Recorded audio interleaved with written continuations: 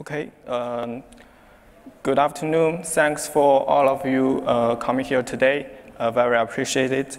Um, my name is Cheng Yingxin. I'm from uh, Intel Shanghai, China, and I'm very interested in system architecture, performance, and usability. So everyone here cares about Nova Scheduler, especially about its uh, performance issues and uh, possible uh, optimizations, I think. So I'm here to talk about it. Uh, another thing is I have implemented a, a, performance profiling tool for Nova Scheduler measurements. I will prove how useful it is by showing you uh, what I've got. Uh, this presentation is based on 58 rounds of experiments. Uh, they will show how well current Nova scheduler can perform under the standard one scheduler uh, deployment, which is recommended by uh, the community and the scheduler subteam. Uh, they will show how well current Nova scheduler can perform perform under the uh, perform under the standard one scheduler deployment. And uh, if, they, if you know the performance, you may wonder how to optimize that. Uh, and I will show the uh, existing op options that can break the limit. And of course, they all come with compromises. So I will help you weigh the pros and cons. Uh, I will also finally talk about the uh, future uh, designs of Nova Scheduler that are considered by the community to uh, optimize the performance. Uh, the, all this work takes me about two months. Uh, take, takes me about two months. I'm a little nervous if, if I can't realize the idea, but it is much more enjoyable uh, when I see the pattern coming out from the result data. So uh, first, some uh, better to know before the main content. Uh, the first is the scheduler architecture, and the second is uh, how to analyze the scheduler based on this architecture, and the third is the how to emulate the uh, real OpenStack deployment to get the accurate result. Uh, so this is the process of Nova Scheduler. Uh, there are four services included, the Nova API, Nova Conductor, Nova CPU, and Scheduler. The request will be first accepted and checked by Nova API, then Nova API will send the request to the Nova Conductor. Then Nova Conductor will call Nova Scheduler to get the decision. And the Nova Conductor will send the request to the uh, specific node based on the decision. And when the request comes to Nova Compute, uh, the resource tracker will, be will check the, if the available resources can meet the requirement of the uh, request. If it is successful, the virtual machine will be spawned in this compute node, but if failed, uh, the request will be retried from, again, from the Nova conductor. So this is basically the whole process of, of Nova, uh, Nova scheduler, but there is still an important part here, the database. The scheduler will uh, make their, its decision based on the uh, a resource view from database, and it will request all the uh, compute node states uh, during each processing of requests. And if the request is successful in compute node, uh, the uh, resource tracker will update the latest uh, state to the database and the resource tracker will periodically correct the database, uh, maybe in 60, uh, 60 seconds. So I can characterize, cat, category the, uh, the phases uh, into three categories. Uh, the first is the pre-scheduling phase that the, the Nova will accept the request. And the second phase is scheduling. Uh, during this phase, there will be a decision to, uh, to which compute node uh, it will success or it will be failed. And the post scheduling will spawn the, uh, the virtual machine there. So in my analysis, uh, uh, the basic idea is very simple. I fake the uh, post scheduling phase so that there's no real hypervisor needed in my simulation. So I can manage uh, 1,000 compute nodes, uh, uh, launch them in uh, within 10 seconds to the single machine, and I can manage them very easily. And uh, secondly, all the important services are, are sliced to create point to generate logs. And then all the important calling points, including the uh, conductor calls the scheduler and the scheduler calls the database are sliced to generate logs during the real, real, uh, real scheduling. And after those requests are uh, delivered, uh, then the logs will be passed by state machines implemented by offline parsing program to get the results, uh, accurate results from this run. So it's a basic idea and how to better emulate the uh, environment. Uh, I ran all these services, controller services, including Nova Scheduler, uh, MySQL, and RabbitMQ into the controller server. And all the other compute nodes are in a separate compute server so that their performance will not affect the controller. And the only difference between a real OpenStack environment and the simulated one is that uh, the post scheduler, uh, the post scheduling phase is faked, and some network interfaces are faked for convenience. So if you have any concerns about that environment, you can remember the question and ask me later. So this is the main performance uh, of the uh, standard one scheduler deployment uh, under the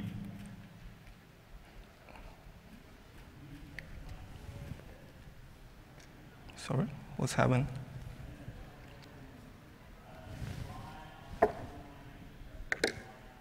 Okay, sorry. Uh, under uh, the various conditions.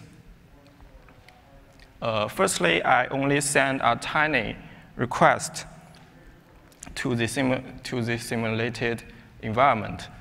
Uh, this request will be uh, processed from uh, Nova API to Nova Compute, and the log will be passed offline to show the uh, how long each uh, the request will be stayed in each services. So for example, in the left side, in 200 compute node simulation, we can see that uh, this request will be stay in uh, scheduler services for uh, 0.2 seconds, and the whole processing time will be uh, 0.6 seconds. And I uh, conducted uh, experiments from 200 uh, compute nodes to 1,000 compute nodes so that we can see the difference there that only the scheduler overhead will be increased by adding more nodes. And the, uh, that, that is the scheduler overhead will be uh, increased up to 64% of the entire scheduling. That is very large. And if we, uh, I'm, I'm very curious about uh, how this blue stripe is, uh, what, what, what's inside that blue stripe. So I uh, made further analysis of this that shows that uh, nearly uh, 60, 90% uh, of the time is uh, in the get all host state method, that is exactly why the uh, Nova scheduler tries to refresh the states from database. So uh, it means that cache refresh is a major bottleneck in this simulation, and it is blocking the entire scheduler process because the schedule overhead is very large during the entire scheduling.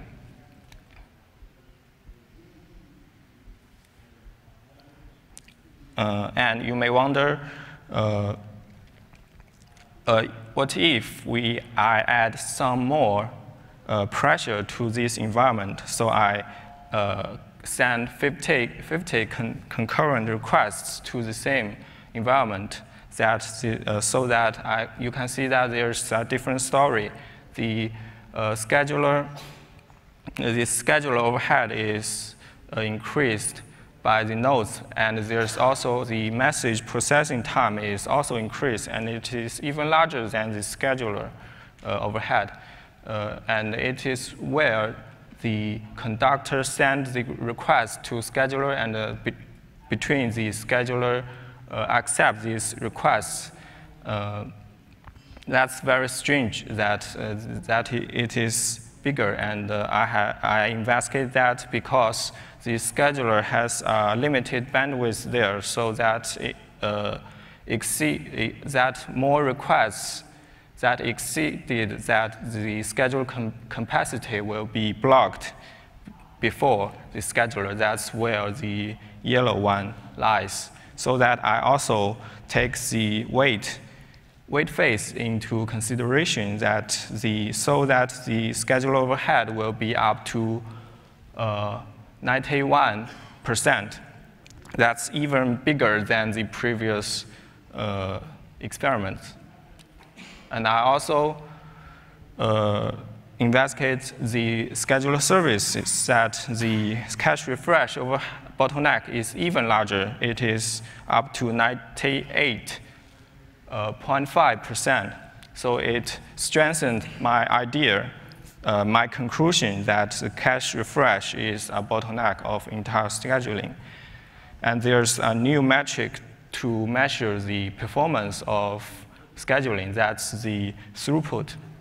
It means that uh, how many requests can be proceeded uh, in one second of this environment. It is uh, decreased to 1.0 uh, 0.8 queries per second in the 1,000 node simulation. And we can see that there is a difference between this first experiment and the second experiment that the performance will be uh, different uh, of uh, different concurrency. So I also did a third round of experiment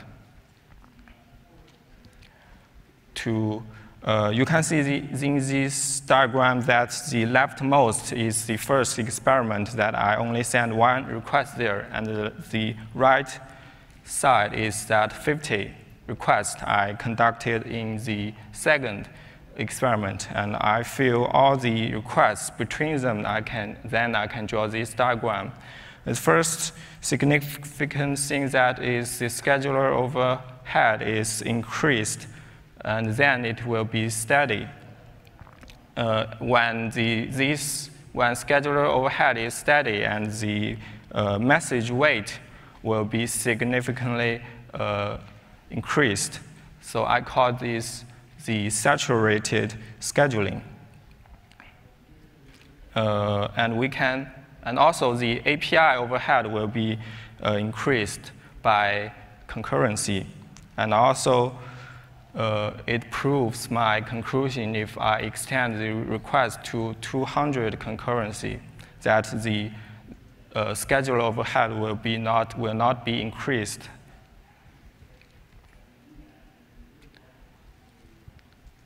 So this schedule overhead, uh, including the wait overhead, will be increased to 88% in this experiment. And if we look into the schedule service, we can see the obvious uh, saturation there. Uh, and the cache refresh overhead is, uh, will be increased to 98% before the saturation, and after the saturation, this will be uh, become steady, the, the cache refresh overhead. And there's another analysis to see whether the scheduler performance will be changed by the concurrency, and the answer is no. The performance will be uh, 2.7 queries per second after saturation. So if you think it is complicated, so I, I will summarize that uh, the current schedule process is like a pipeline, and it can be saturated by requests. The thinnest part is the Nova Scheduler service. So the uh, so more, if there are more requests exceeding the capacity, they will be piled up before scheduled services. And the schedule overhead of in, entire scheduling is up to 90%. It will be grown by adding nodes and adding pressure. And the cache refresh overhead will be steady at uh, 98%. So it means that the bottleneck is cache refresh from database, and the performance of the entire simulation is 4.3 to 1.1 requests per second. Uh, if we know about the Nova schedule performance, we may wonder how to improve uh, that performance if we not sat satisfied with that. So we have three choices there. The first one is to adding more schedulers, obviously. And secondly, we can add more workers of Nova API and Nova Conductor. And the third choice is to change to another uh, scheduler called the caching scheduler. Uh, if we add more uh, filter schedulers, we can see first uh, significant thing is that the weighted messages will be uh, consumed by multiple schedulers. So it causes the scheduler overhead decreased to 70%, uh, and it will result in faster query time of, uh, of one query processing. And, um, but the, this diagram also shows that uh, not, it's not true that more schedulers means uh, the, the better performance. And we can also see the performance, the throughput improvement is up to 300%. But the cons is that uh, the, scheduler, the, sched uh, the multiple scheduler decisions will be collided with each other uh, that they, uh, if there are 16 schedulers, all of their decisions will be collided into three compute nodes. And it result in, even result in retries uh, in the first picture, and uh, finally, finally result in the uh, performance overhead. And if we have more workers. Uh, at this picture, we can see there is uh, very little difference here. Only thing we can see the pattern here is that the API uh, cost is uh, slightly decreased, but other things are not.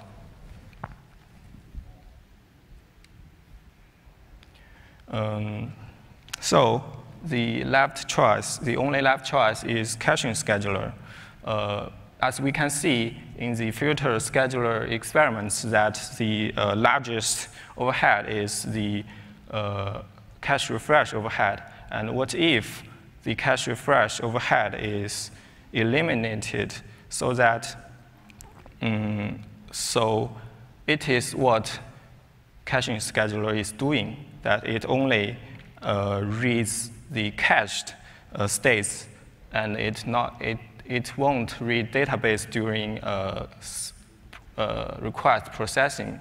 So we can see the result is uh, the performance boost is very significant that the uh, left, the new diagram's uh, scale, scaling is only one-fifth of the filter scheduler scaling. And it means uh, if the bottleneck removed, one request can be uh, up to eight times faster. It's in 1,000 node simulation. It will be the fastest.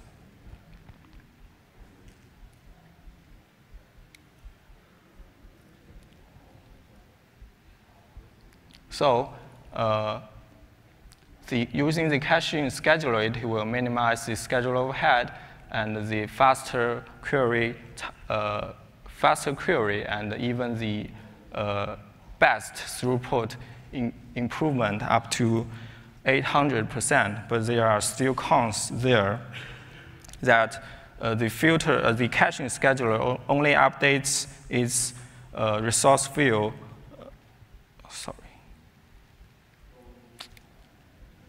only updates its resource field periodically uh, 60, 60 seconds by default, so that it always, uh, it means that it always have an outdated res resource view there. So it will affect the placement accuracy if the resources is uh, constantly changed by deleting instances or migrations uh, in the compute nodes and uh, you may not want to uh, launch multiple schedulers there, of course. And I also visualize uh, uh, profile, profile the schedule process uh, in each uh, choices. And as you can see in the first graph, that if the scheduler is uh, processing 50 requests, it will cost nearly uh, 20 seconds to complete all the requests. And th those requests will be first stacked in the Nova API.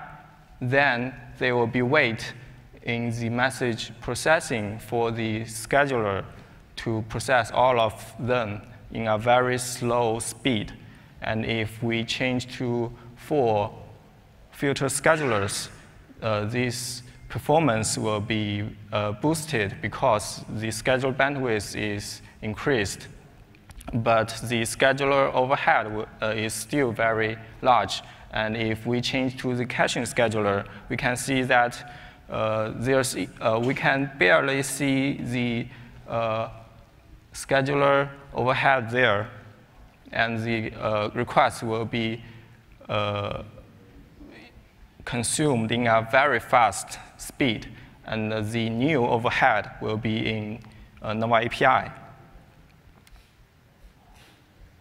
So the optimization strategies is uh, if we can optimize the database, and uh, it is the most effective choice, but it is uh, a little di uh, difficult to have a much better performance.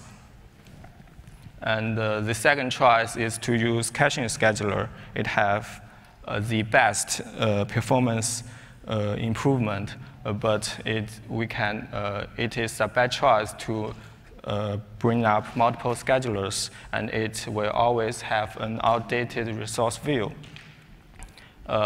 if we can't tolerate that, we can choose more, more filter schedulers, and it, it will be uh, also a better performance there.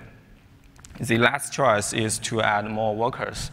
It uh, will have the least performance because in my investigation, uh, current NOVA filter scheduler will be directly connect to the database uh, without a conductor. So that that's why uh, if we add more conductors, the performance will be will not be uh, boosted that much.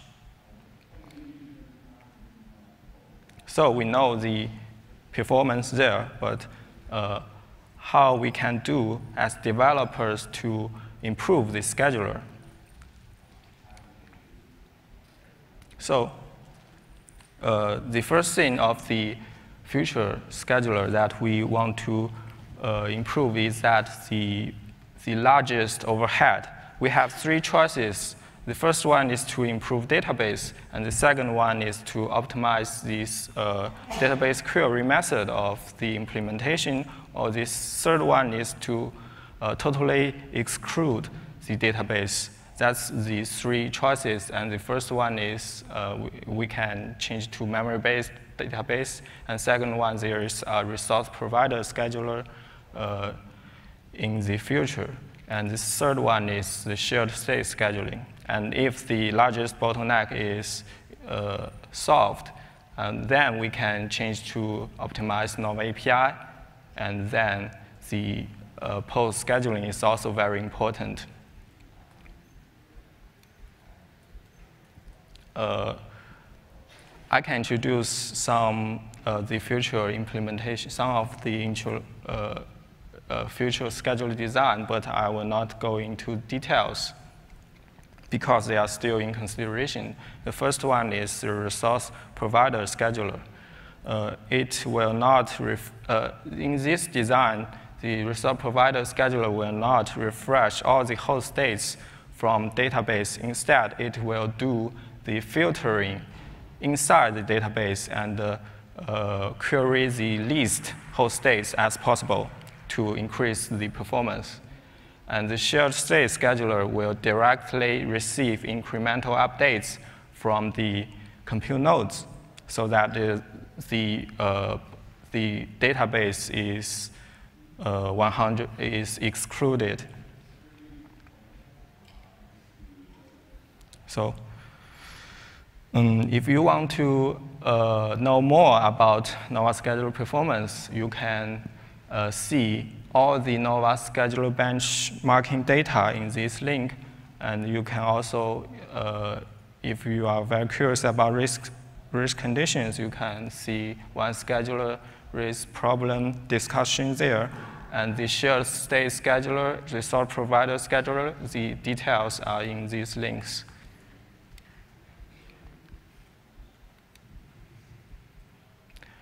Um, you can also try this tool in your environment, and you can optimize your environment to see uh, if there are differences there. And you can ask me uh, if you met problems. If you have no test environment, you can also try OC cluster if you got good ideas. And if you want to contribute code to Nova Scheduler, you can attend to the uh, scheduler sub, uh, sub-team meeting in, uh, in bi-weekly. So uh, finally, uh, I will thank Jin Yuntong, Zhou Zhenzan, and Liu Junwei to, uh, for their su support. Uh, so that's all of my presentation. Do you have questions of this experiment? Yes, I do. Yeah. Uh, Nodir from ZeroStack. So can you go back to your slide number 19? Just wanted to know what you're highlighting there. 19, okay. One nine, please. So you had this matrix. Yeah. So yeah, the next one. Next one. The first matrix, you have 1 to 8, 12, and 16. Yeah. Is the 8 the number of API workers you recommend, or why it is in purple? Oh, sorry, it's not 1, 2, it's 2, 4. It's a mistake there. And the 8 is, uh, is orange because the typical, uh, the default setting in my environment is 8, so that the previous experiments are all have 8 workers. And where is your previous experiment then? The, I have conducted three sets of experiments. The, like the, the, the one requests, one requests, and uh, various nodes, and 50 requests with 200 to 1,000 nodes, and uh, one to 200 concurrent requests in 400 nodes. That's the three experiments in my presentation. Okay, well, I will take a look. So that's basically uh, across slides, like slide 18, 19, that purple line means connection between all those experiments, right? It's not something you recommend as maximum number of API.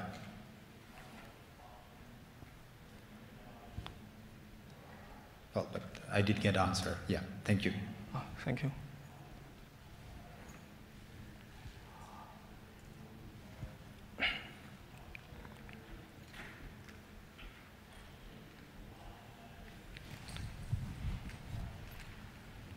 Do you have I apologize if this is a newbie question. When you talk about caching, where Yeah. does that cache reside?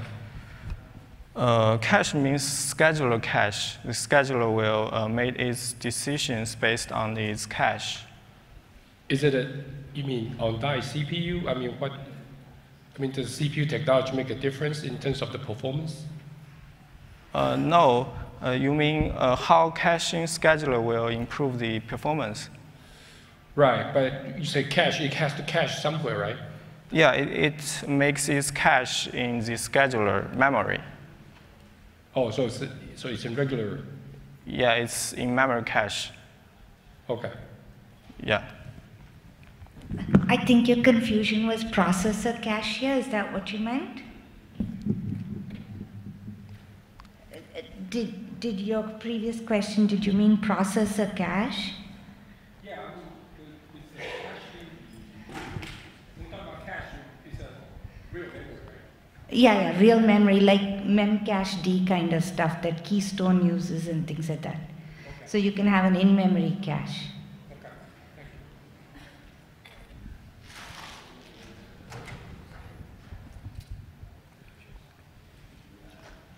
Okay. Yingxin, people might be curious to know if there's any forward path for this in Nova, any chance of this awesome scheduler optimizations being implemented?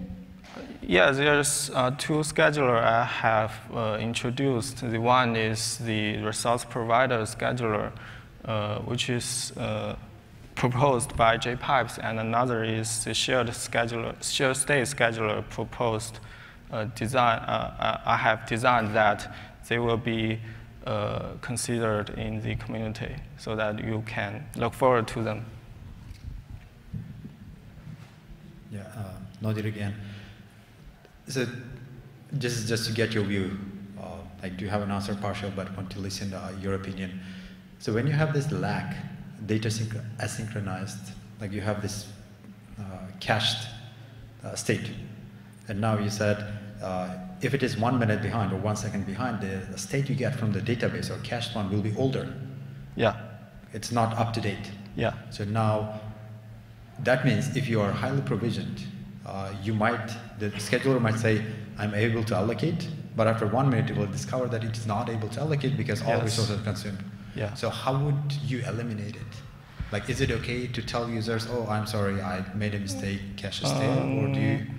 tune it, or do it something on high concurrency request? That- I'm not asking for definitive answer, but uh, curious to know your thoughts.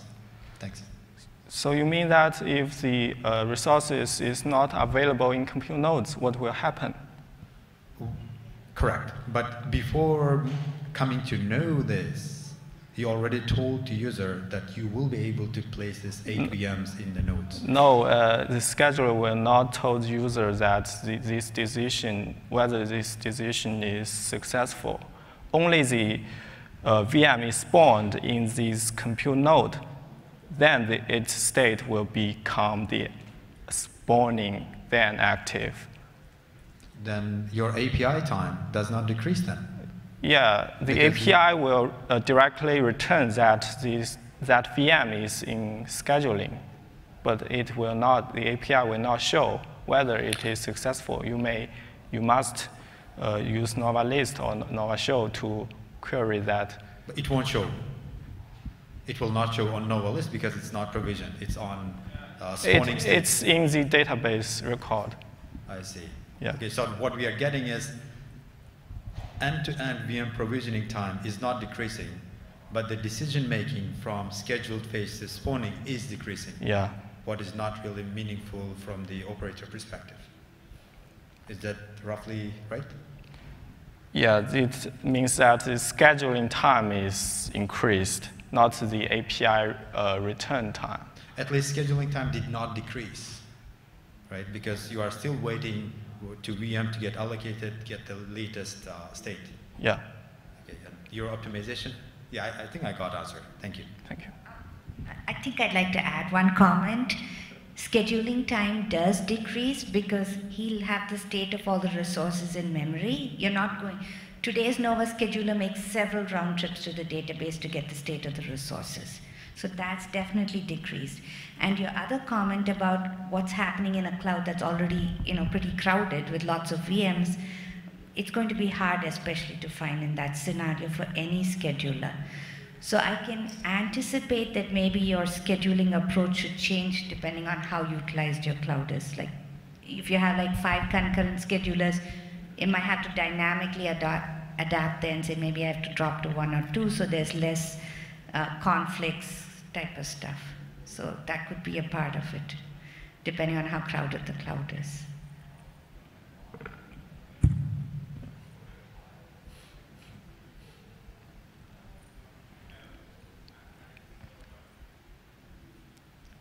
So any more questions? Well, uh, I want to ask, uh, ask two questions. Yeah. Uh, first, uh, in your experiment, uh, what uh, what the scheduling mechanism do you, did you use? Uh, what do you mean the schedule mechanism? Do you mean the filter schedule, uh, Yeah, the yeah, filters filter. and weighers? Yeah. Oh, yeah, they are the default, default settings uh, using DevStack. Okay, so you uh, did, uh, did, did not do any work to op- optimize the, the filter? Yeah, no, no optimizations. They are all the original OpenStack. Okay, uh, the second uh, mm, question is, uh, how do you measure the scheduling collision? Measure, How, how do you measure the, uh, the scheduling collision if you use uh, catch, uh, caching scheduler? Uh, the collision, um, uh, it is based on the logs. I can see from logs that this decision is made to uh, which node. And then if it failed, I can even back to logs to see the, uh, what it, when it is retried. And the second decision is made on where, so I can collect all these to see the, how many nodes are there. Did you analyze the uh, impact, uh, the impact of uh, collision on the on your experiment result? No, but every collision that uh, every retry will cause uh, entire scope from Nova conductor to scheduler to uh, compute node, and we can we can calculate that. Yeah, Okay, thank you. thank you.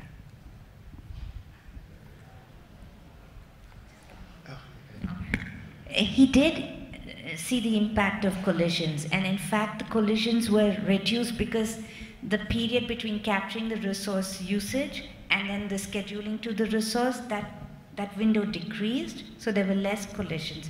Yingxin, there was that slide with the collisions. If you want to show him. Okay.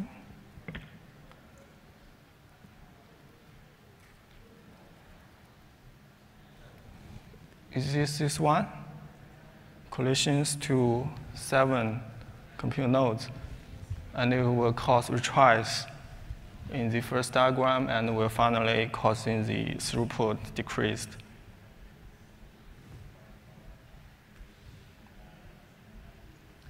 Hey, um, I, I was curious on the, the query to get all hosts from the database that, that slows down the scheduler. Is Yeah. that is that on a per project basis, or or um, do, will that slow down if you have lots of VMs in a completely separate project as well?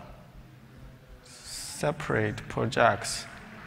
Uh, so, like, if you have a if if, if, you have an OpenStack that ha- that has uh, multiple tenants or projects, Yeah. um, will will it slow down based on how many uh, VMs are in all of your projects, or just limited to that one project?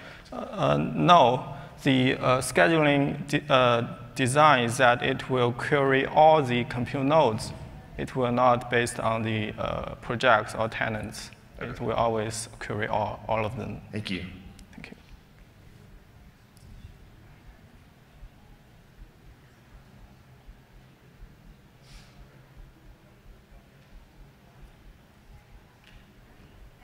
Thank you.